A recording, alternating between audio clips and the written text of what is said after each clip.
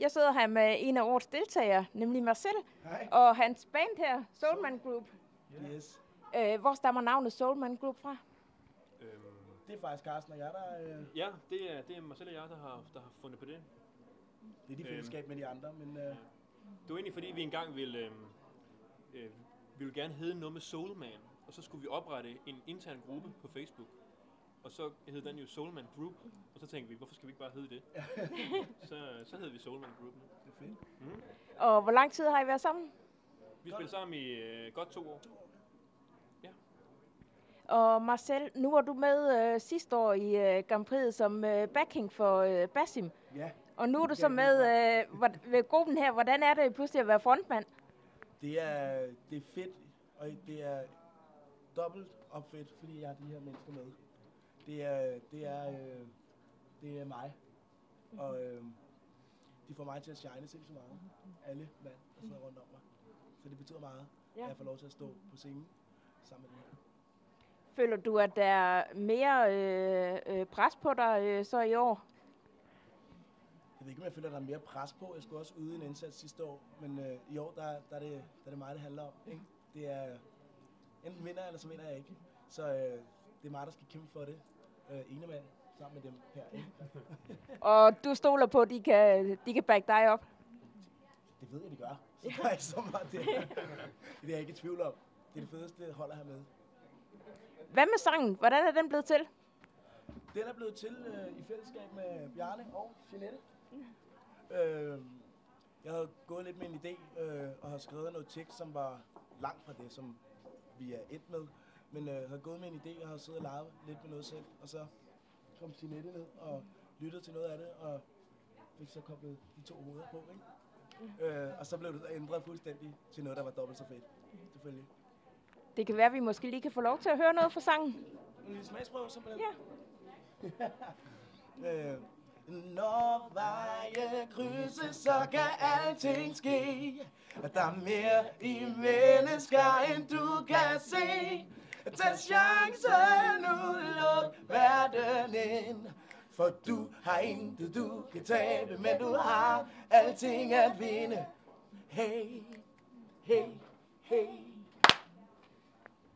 Nu øh, er den her sang jo på dansk. Er det en fordel eller en ulempe?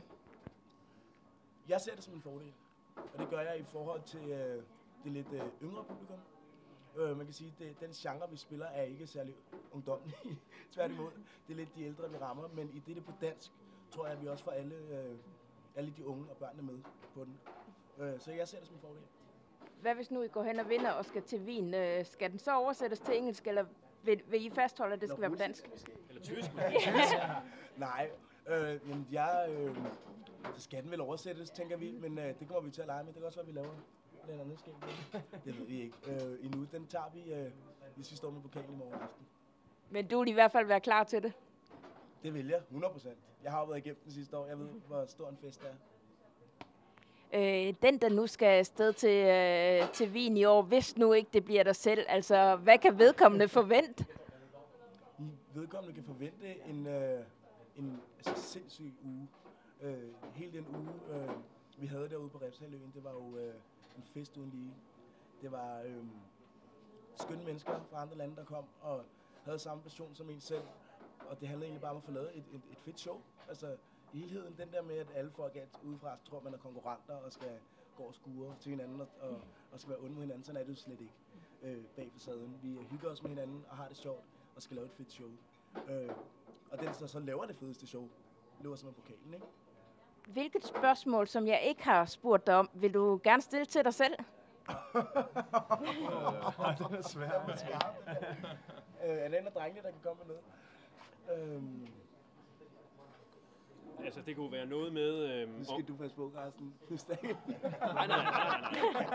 Det, det er faktisk helt seriøst, men det, det er mere, om mig selv ville spille med os, hvis det ikke var fordi, vi, skulle, vi havde sådan et Grand Prix-projekt her. Men vi spiller med jer.